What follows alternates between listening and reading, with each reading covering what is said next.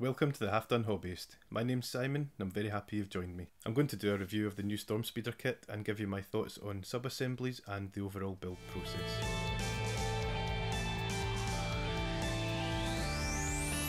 The Stormspeeder is a Landspeeder replacement for the Primaris range and it combines the Landspeeder STC with Belisarius Cawl's far more brutal looking um, repulsor technology. If a Landspeeder and an Impulsor had a baby, it would be the Stormspeeder. It comes in three variants, the Hail Strike, Thunder Strike and Hammer Strike.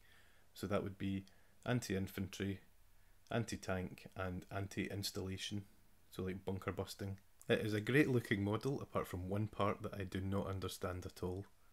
What's this little guy doing? Is he being punished for something? Is he allowed to wear earmuffs? If the Stormspeeder crashes, is he meant to get out and carry on like this? I don't know why he's there and I don't like it, but I can live with it, I think. This kit was very easy to build with all the bits slotting together well. The pilots can only fit in one way into their seats, and their arms can only go in one way. So no more guessing where the arms should be positioned to match up with the joystick on the dashboard. That is a big improvement. The bottom of the hands on one guy match up to an indent on the dashboard, and on the other one it's a small disc, so you can't really go wrong when you're placing the pilots in and you can really just drop them in and they slot right into place. It's great.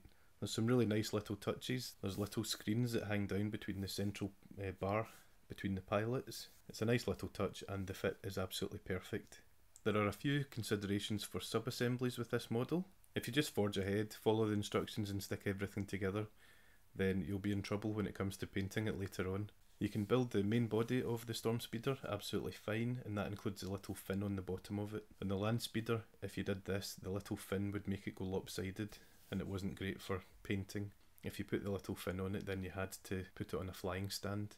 With this, you can just leave the flying stand off until the very last moment. It's the roof at the back of this vehicle that really requires a, a wee bit of thought. There's two bars over each side that strap the pilots in, and if you glue them to the main chassis, and the roof, then you'll have problems getting the pilots in and out.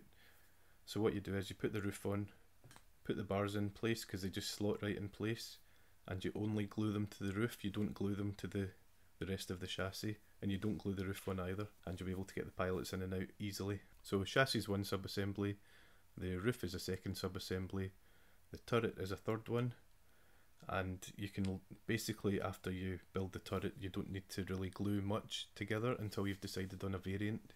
You can snip it all off, clean it up and just leave the parts out. There are only a few tricky bits that I can see when it would come to magnetising and that would be the underslung rockets on but that's only in one variant. I think that's the Thunderstrike. Other than that, I think it should be straightforward magnetising this kit so that you could use any of the variants with it. As for size, it's pretty big. It's much, much bigger than a traditional land speeder, and it's almost the same size as an impulsor. An impulsor's still bigger and bulkier, but this is fairly close. I think the flight stand deserves a bit of a special mention. I personally haven't used one like this before, I haven't seen one like this, and it makes a huge improvement. It's got a little ball on top so that you can position the storm speeder forwards or tilt it back or tilt it on its side. It's really good compared to the old straight up and down flight stands that we had before. The most ridiculous flight stand I ever saw was the one with the Kharadron Overlords uh, Ironclad, I think it was, the biggest ship they had. And it had one tiny little flight stand. And I don't think I ever saw anyone get that to work properly. So this new one is a big improvement. For the entire build, it took me about two hours, and that was going at a very casual pace. Easiness of build would definitely be a 5 out of 5, there were no problems whatsoever. If you'd chosen one variant and gone for it, it would be a very simple build indeed. Overall appearance of the model gets a 3 out of 5 because of the little guy in the middle. I just don't know why he's there. I'm still pondering what to paint my Blade Guard veterans in this video up here. So if you want your saying that, pop over there, have a wee watch of the video and leave a comment. Otherwise, if you're enjoying my videos, please like and subscribe and I will see you in the next one, hopefully very soon. Thanks very much.